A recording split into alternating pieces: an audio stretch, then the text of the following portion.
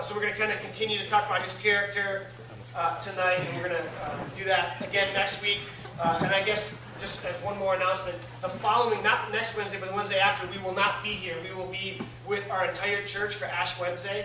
Uh, so we'll be with the adults kind of participating in that. And that's going to kick off our next series coming up, which is Ashes of Fire.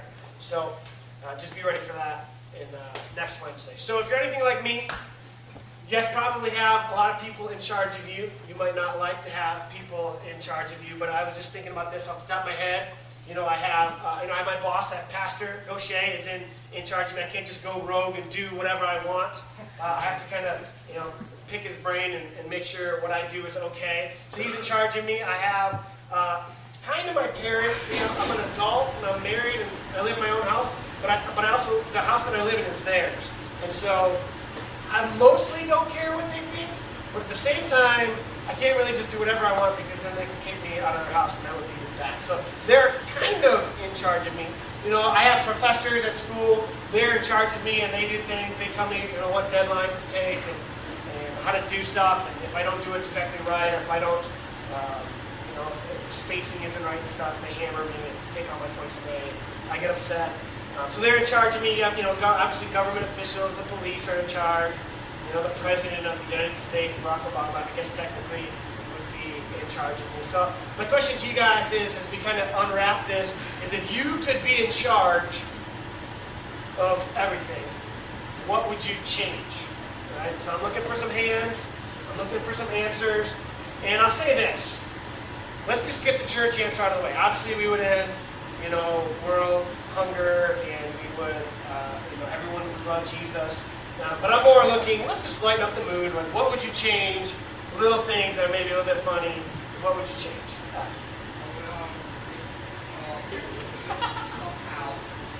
So peace. So just what I said, we would already, okay. All right. Good. Talk about delivery. Okay. Very cool. All right. You got some shout outs for that.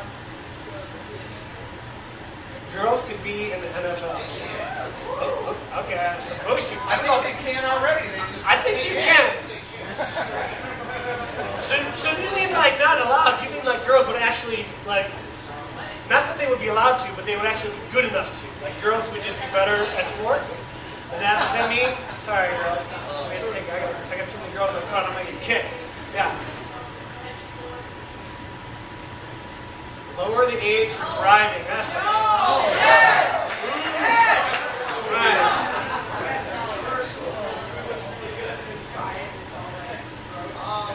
Ah, so advertising would be actually real. You couldn't advertise fake pain. Okay, that's good.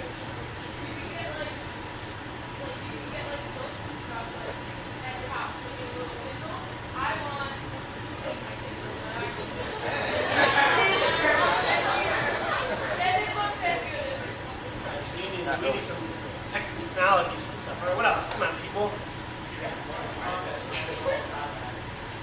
Half off, not just at 10 o'clock and later, but all the time half off after, Yeah, and we're thinking big now. We're thinking, we're like, let's use our, yeah, let's use our authority for uh, major, major issues. you need to get stuff at DVR. Skip those commercials. They already have that.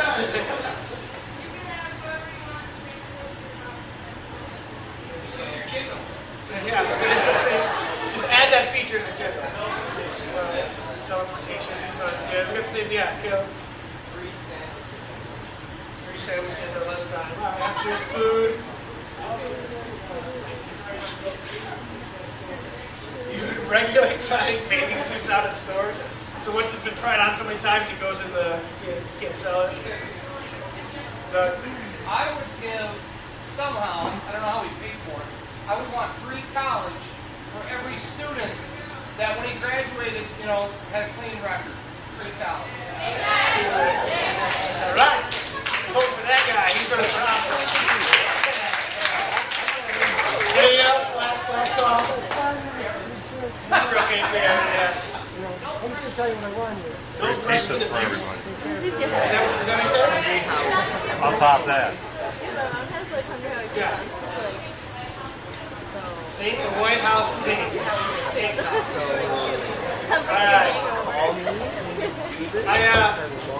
I was thinking about this. We actually, uh, the only reason I was thinking about this, well, actually has a lot to do with the message, but I was also thinking about this question because uh, there was a Super Bowl last year. At the Super Bowl, I was at Julie's family's house, and we, I don't know how the question got brought up, but we started asking people, and they were, you know, I think what I said is I, I, you wouldn't be allowed to work on Sundays, just because I think we're uh, so many people, we're such a go go go society, and I think it would be awesome to have nothing open. Would love to live like that. But we asked, we, and this is really sad. We asked, um, how, how was there nine? A nine, a nine-year-old. And we said, we said, Alex, you know, if you could do anything want, what would you do? And he was like, I would lower the drinking age. And I was like. I was like, uh, this got really awkward. And I was like, why? He's like, so we could get partied up. And I was like, it was really, it was really sad. Like I was like looking around, like, did anyone just like this is the problem? This is not good. I don't want to be like that pastor guy, but I think anyone would agree that that wasn't a good uh, thing to say. And so tonight I want to talk about how I want to talk about how God is in charge. Right? That's kind of what we're going to be talking about God's character. And the technical term for that is God's sovereignty. God is sovereign. That's kind of part of his character. And so we're going to talk about that tonight. I want to define this word sovereign for you as we get into it. So if you're taking notes, you can write it down like this. Sovereign means having supreme rank, power, or authority.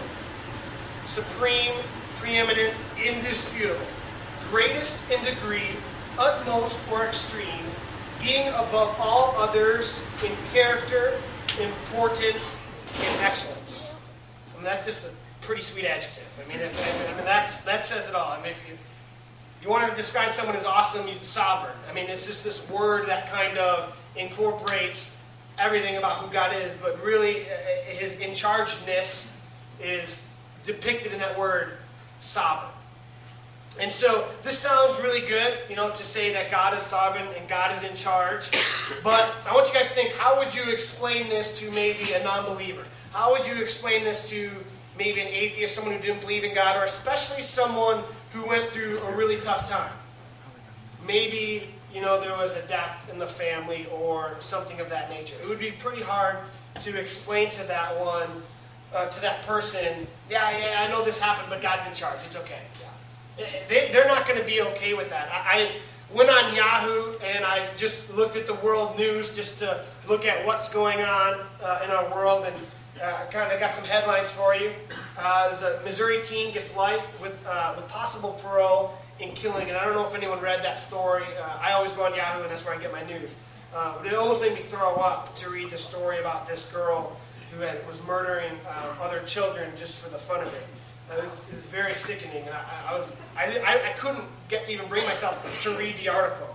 I started to, and it was, it was that messed up. Scores killed in shelling of Syrian city in, uh, of Homs. Uh, Iran says it can hit U.S. interests worldwide if attacked. Global warming, uh, like weather on steroids, and I don't know about you guys, but what global warming is like. I say we warm it on up because it's been pretty nice this week. You know, we get out the nuclear power plants and all that. But it's kind of scary, kind of uncertain, uh, kind of uncertainty going on. Uh, Philippines earthquake buries residents and bloodshed mounts in Syria. And reading things like that can sometimes tend us to doubt God's uh, sovereignty, sovereignty, and kind of doubt that He's truly um, in charge. And things like that really kind of get at us. And it's, it's kind of tough to explain. And so I want to assure you tonight that yes, despite all those things, God is sovereign. He is supreme. He is in charge. And I want to talk about two different things, or two ideas that come from God's sovereignty. Two things that you guys can take away with that I want you to understand about who God is uh, tonight. All right, and so the first thing is despite what goes on in your life, despite what circumstances you uh, encounter, uh, what hand you've been dealt, God is truly in charge. You can write that down. God is in charge. God is in control. Whatever you read in the papers, uh, all these things that are negativity all the time, God is still in control. I want to read to you guys a passage and we're going to break it down. Uh, if you guys have your Bibles out, uh, I want you to go to 1 Samuel uh, chapter 2. Can I get some water? Awesome. All right. First Samuel chapter 2, verse 2 through 10. I'm going to go ahead and read it and then we'll, we'll break it down. So I'm in Isaiah here. All right, here we go. First Samuel chapter 2, verse 2 through 10. It's a little bit long. Stay with me here. It says, There is no one holy like the Lord. There is no one besides you. There is no rock like our God. Do not keep talking so proudly or let your mouth speak such arrogance, for the Lord is a God who knows, and by him, de- uh, for the Lord is a God who knows, and by him deeds are weighed. The bows of the warriors are broken, but those who stumbled are armed with strength. Those who are full hire themselves out for food, but those who are hungry hunger no more. She who is barren has borne seven children, but she who has had many sons pines away. The Lord brings death and makes alive.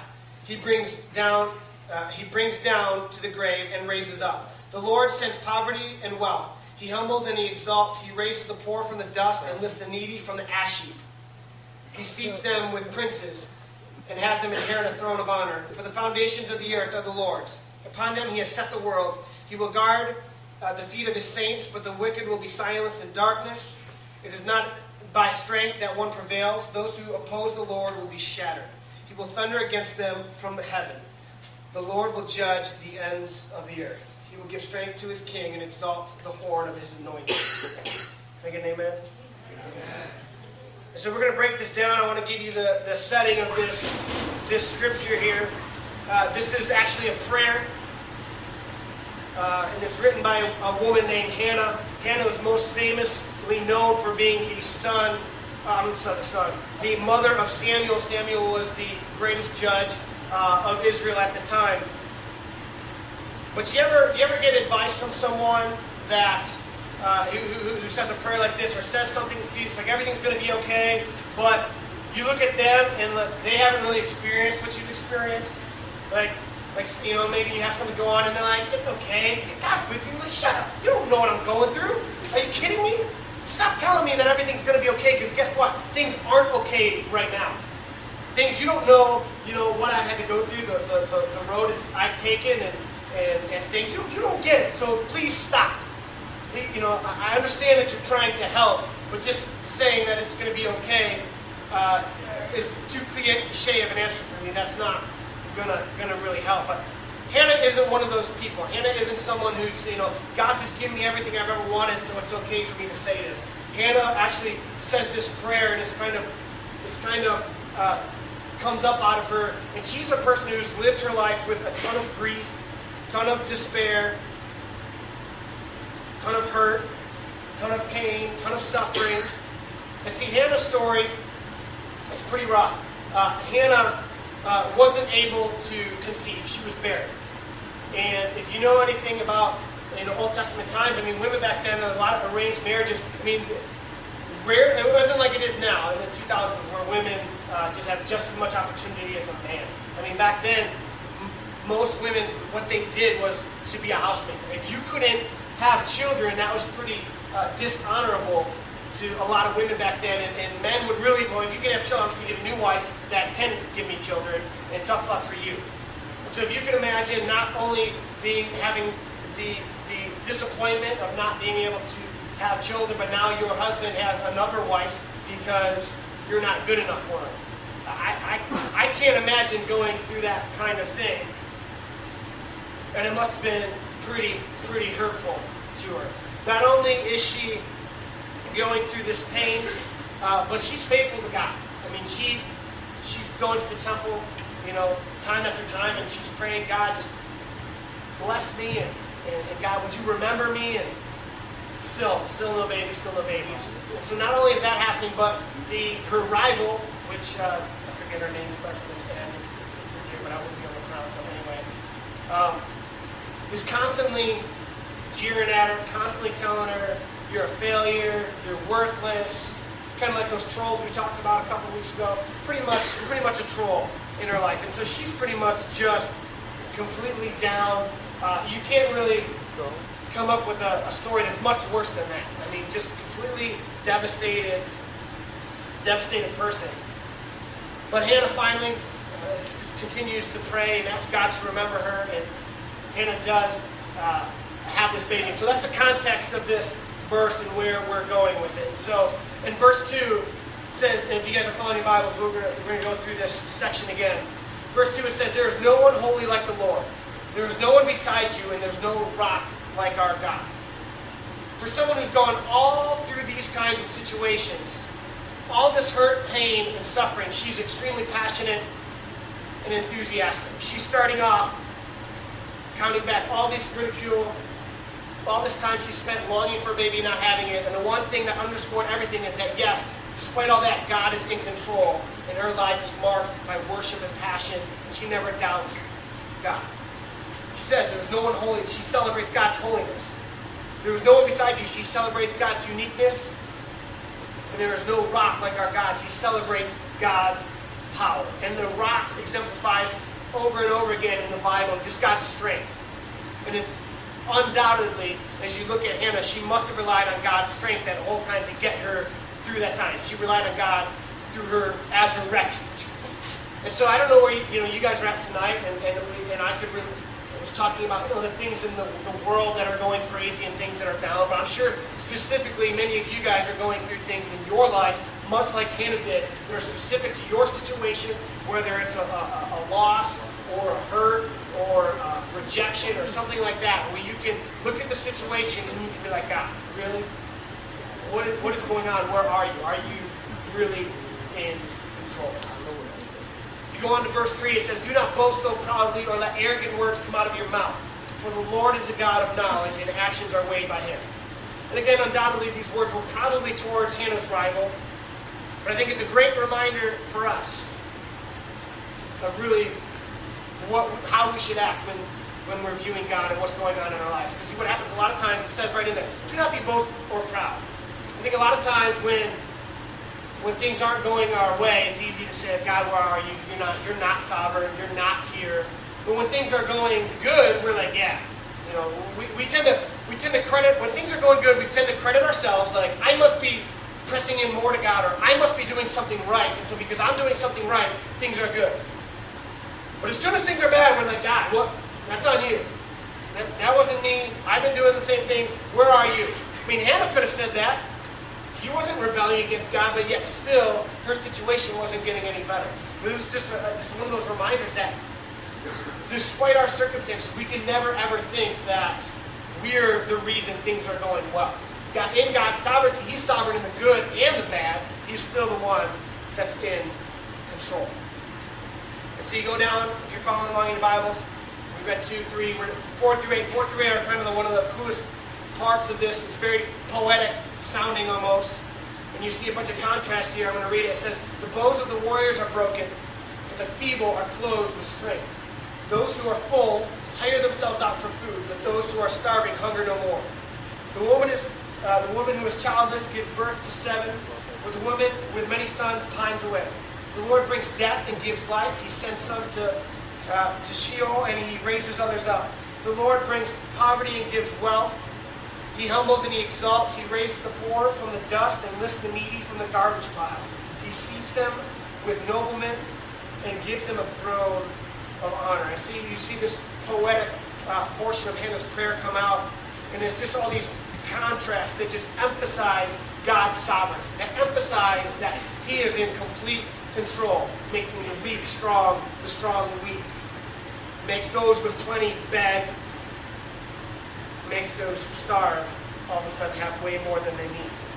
Gives a barren woman much, makes the fertile woman deprived. God responsible for life and death. Some are healed and some are not. God gives poverty, gives wealth. He humbles some and he exalts others. And I think that's just, just a reminder. Uh, we need to be humble ourselves in, in whatever situation. God is in control. And I think this is where this truth comes out is that we can't comprehend the ways of God. When we, as soon as we start to think, God, why did you, why, as soon as we do that, we're already way in over our heads. When we can say, God, why did you do this? Because God is not finite. We are finite beings. We are so limited in our understanding, but yet God knows all. And when we, you know, we, we question him, it's just, it's letting ourselves not stand firm in the understanding of he is sovereign. Every time we question him, we have that question, we, we begin to doubt. And uh, if you guys read last week, I talked about even just the Trinity. I talked about uh, this quote of John Wesley. It says, "Give me uh, a worm who understands a man, and I will give you a man who understands the triune God." It's that kind of complexity where you guys need to understand that it's extremely for us to question God. I mean, you can't. You you really can't even start to go there. Hannah ends his prayer uh, like this, uh, eight through ten. For the foundations of the earth are the Lord's. He has set the world on them. He guards the steps of the faithful ones, but the wicked are silenced in darkness. For man does not prevail by his own strength. Those who oppose the Lord will be shattered. He will thunder in the heavens against them. The Lord will judge the ends of the earth. He will give power to his king. He will lift up the honor of his anointed. And you begin to think about what's going on in our world today. You know, the economy is a mess. Unemployment is way, uh, way up. People are lo- losing their homes. Businesses remain completely empty as you, you know, drive up and down the streets. And like I said, I didn't even begin to go with you individually what's going on in your person, personal lives. And it, it, it's easy to look at things and, seem, and, think that things are spinning out of control and that God, really? Do you really have this all in control? Because things don't look very good right now. But I want to call the attention to this, this, this first part of verse 8. To the foundations of the earth are the Lord's. He has set the world upon them. In the Old Testament, this, this phrase, foundations of the earth, is seen over and over again, and it just represents God's stability. It's just a reminder that, that God's sovereignty cannot, will not be compromised. And that, yes, He is in control. So there's a couple things I want to talk about, uh, this idea of God's in control and His sovereignty. First is that that doesn't mean just because God's in control that you don't have choices. That doesn't mean that He's a little puppet master and he, he, you don't have a choice because you do have a choice. Right, right there in the end of that verse, you see, uh, you know, uh, He guards the steps of His faithful ones. The wicked are silenced in darkness. The man does not prevail by his own strength. Your choices will determine how God acts towards you. So again, I, I want you to, you have choices. It's not like you were, you know, a puppet or anything like that. And the second, I think the more uh, important thing is our perspective. And it, if you don't get anything tonight, this is one of the things I want you guys to take into Your perspective is huge. And you have to come to the realization that God is big and that we are not. And we have to realize that we can't always see the big picture. You can't always see what's going on. You can only see the moment. I mean, you can only see the second. You can't see the second after your next heartbeat. You, you don't know what's going to happen. But yet God is infinite. He knows. And so many times in my life, now that I'm older, and I can look back in my high school days, and I can look back and preparing for college, and there's so many times that I can go, oh, right, that's why at the time, I mean, I, I'm, I'm, I'm going to give some examples in closing, but there are times in my life where I've just been like, God, are you kidding me? This is, this is stupid. I cannot believe this is happening right now, but years down the road, oh, right, now I understand. And so you have to look at everything through that perspective. That you can't see what's happening. You don't know where God's leading you. And so the first thing I want you guys to understand is God is in control. The second thing I want you guys to understand tonight in God's sovereignty is that not only is He in control, and that doesn't mean He's just going to not make sure the world doesn't blow up, and that's it. No, but that means He has a plan.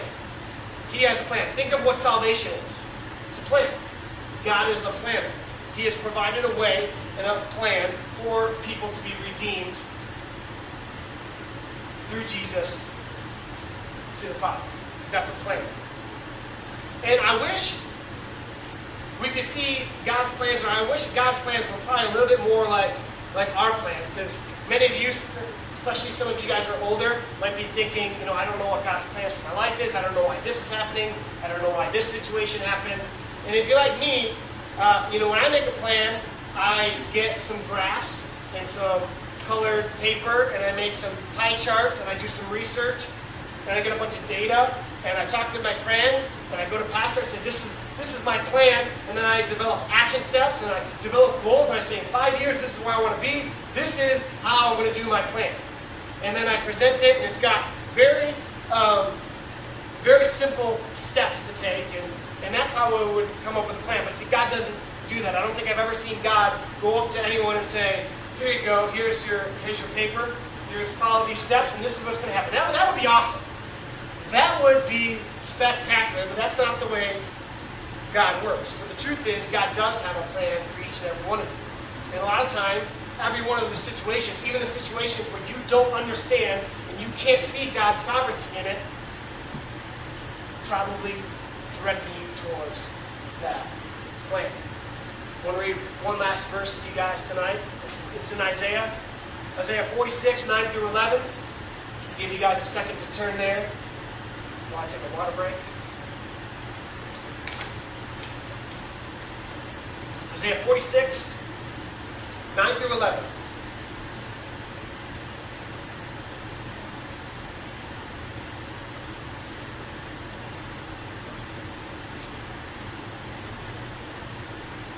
That's it.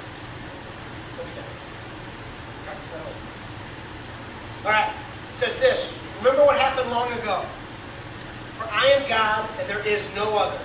I am God and there is no one like declare the end from the beginning and from long ago what is not yet done, saying, My plan will take place and I will do all my will. I call a bird of prey from the east, a man for my purpose from a far country. Yes, I have spoken, so I will also bring it about. I have planned it, I will also do it. Can I get more? Man, just make sure you guys are read, listen to the same verse that I was reading. This, this is one of those verses that's hard to preach because it's so awesome in and of itself. I wish I could just read it and be like, yeah, what he, what Jesus said. There. Well, let's talk about it for a second.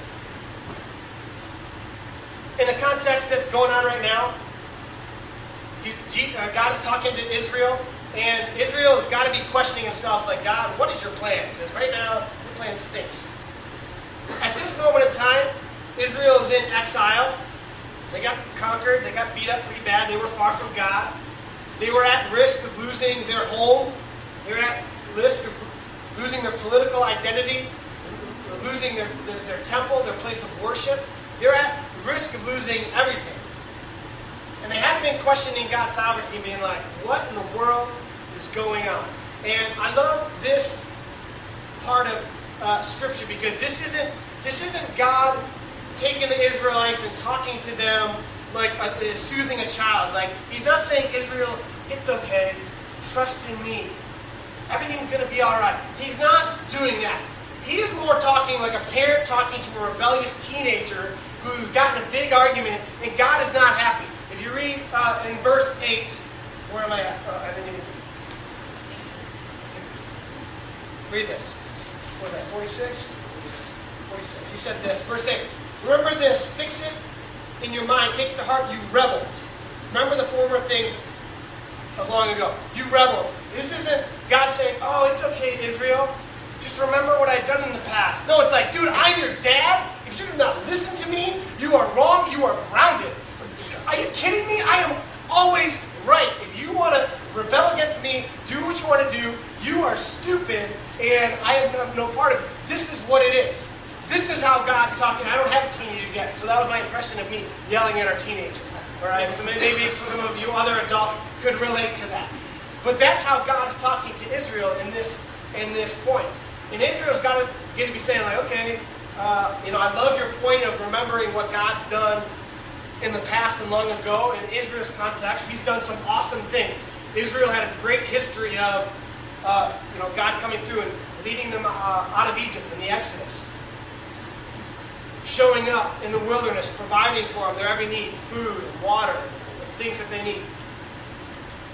Providing them military conquest and their protection and guidance as they went and took the promised land. God, I mean, God has been for them, been there for them over and over and over again. But yet they found themselves in a place where they were questioning God's plan, they were questioning God's sovereignty, and He had to teach them a lesson. and you read that part where uh, at the end of verse uh, 11 says, From the far east I summoned a bird of prey. From a uh, far off hand, a man to fulfill my purpose. That person was Cyrus, uh, king of Persia. See, God was using someone totally unexpected to teach the Israelites. And that happens so often in our life. There's a situation where this isn't good. This is a bad situation. I don't want to listen to that person, but yet God is going to use that situation to teach us. And Israel had to be thinking in their heads, yeah, God, I know you've been there for us in the past, but seriously, your plan's the worst. Your plan is for us to, to be in exile for 70 years and not to go back to our home. They probably weren't too happy about God's plan, yet at the same time, they, they had to trust Him. That's what He was telling them. Not, not oh, it's going to be okay, Israel, but like, you better trust me. I am your dad. I know what's best for you, whether you think I do or not.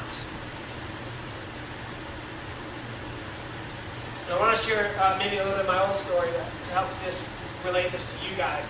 You know, when I was uh, a couple couple things. You know, when I was in high school, I remember uh, I was a decent athlete and uh, I had plans of playing soccer. Like that was my plan. Uh, it wasn't God's plan. And I figured, well, that's what I was talented in, and that's what I would go do. And I remember uh, shooting hoops right a couple days before I graduated. And I was shooting hoops at a park, and I just, you know, lazy layup, and I fell down and I broke my foot. And I know I broke my foot. I fell down and my little brother was there, and my cousin. And I was like, oh! I was like, dang it, I just broke my foot. And they were like, how do you know? I'm like, because I know. They're like, did you just roll it? I'm like, no. I rolled it before, my foot's broken. And I said, this hurts so stinking bad. I, it, be, besides pain, I was just angry because I knew all my plans were screwed up. That was the first thing I thought. I was like, go get dad. They're like, why? I'm like, because I can't walk and I need someone to, I was across the street at the park. I said, I need someone to pick me up. You, you can't do it. You're too small. And I was just very, um, a matter of the fact, like, I wasn't even worried. I mean, it, it hurt like crazy, but I was so upset about my plans. And I remember just, just praying to God, like, God, I, why? Why is this happening? This doesn't make any sense. All my plans are screwed up. Down the road, it all started to make sense. Like, God's plan wasn't for me to go away and play soccer. If I wouldn't have been home, I wouldn't have gotten involved with Element, wouldn't have had a mentor who mentored me for the past six or seven years. Everything would have been completely different. Another time, um, you know, I, I, there was a girl I really liked, wasn't Julie, and uh, man, I just I was crazy about this girl. And I remember, I remember, you know, and putting it to prayer. Like I was, I was ready. I mean, I was going to go sweep this girl off her feet, and I was going to say, let's, let's do it. Let's, you know, let's the whole nine yards, all that stuff. And uh, remember I just didn't have a peace about it. And I'm not, I don't subscribe to that there's one person for you or God tells you exactly who to. No, no, that's not my opinion. Uh, uh, but certainly God is going to approve of who you marry or disapprove. And obviously he disapproved of this person. And I remember thinking, just being so mad, like so angry. I, I'm like, God, there's there's no way I'm going to have a connection with any other girl like I do this girl. I mean, this, I mean, she's my, you know, this girl was my best friend, hung out all the time, and she was it. And I, I would get, I couldn't, I couldn't fathom in that moment. Again, I couldn't see past that moment. I couldn't see what was next. I couldn't see. I didn't, couldn't see Julie. I couldn't see a baby. I couldn't see all those things ahead of my future. If I could, I would have been like, no big deal. It'd be easier for me to live uh, trusting God's sovereignty if I could always see the future. And I think a lot of times we want to know what God's plan is for our life. If the band uh, could, could, could, come up, we're going to go into worship in just a few minutes. But here's another example, and I hope you guys can understand this. You know, like, like I use that example of how I make plans and how I get it all on paper and I make points, and, and that's how we're going to go do it. And I think a lot of times I think a lot of times God doesn't give us his plans is because if he did, if we really knew what his plan was, we would screw it up really bad. The more we knew about his plan or his plan for our lives, the more we would just try to do it ourselves.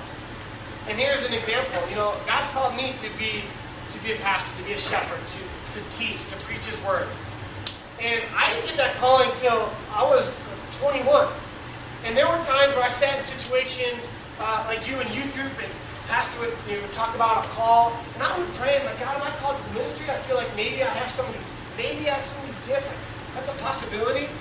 But, I mean, just, I never heard him, no, like, you know, I'm, I'm not copping out, but I never heard God call me to the ministry. Now, down the road, I know that if God would have called me to the ministry in high school, I would have screwed it all up. I'd have been like, okay, here's the plan. I know how to do that. And I would have walking this way, like, thanks for the plan, God. I'm, I'm going to go take care of it. I would have enrolled in some Bible college, I would, and then I would, I would have just gone after it. But as I look back at my life, I can see the people that God wanted me to be around, the people that God wanted to, to shape me, the people, the plan that God had doesn't always mean revealing every single step of the way. A lot of times, He only gives you as much as you can handle. And that's really the truth of it. And tonight, I'm sure many of you guys have uh, had something in the back of your mind as I talked about why. We talked about this question of why God does what He does. Why, why God's plan is what it is. And there's a situation in your life, maybe you've never said, God, okay, I trust you. Or God, I'm going to give you, you know, my plans. God, maybe, maybe tonight you, you've been all about, you know, you've been all about trying to do stuff for God, but you don't, you haven't even stopped for one second to know what He wants you to do. You just think, I'm going to go do this, that makes sense, so I'm going, I'm going to do it. I want you guys to stand up tonight. The reason I want I wanted to worship at the end tonight is I want you guys to reflect on God's sovereignty tonight. As we worship, as we sing, I want you guys to be able to reflect on this all-powerful, all-controlling, sovereign God who despite our, our finiteness, despite our inability to understand, despite our inability to grasp why God does what he does, I want you guys to be able to lift your hands and worship him. Say, God, in my life, these things don't make sense, but I trust you. I know that you are in control. I know you have a plan for my life. I'm going to give that to you. I'm going to give you my plate. Pray with me.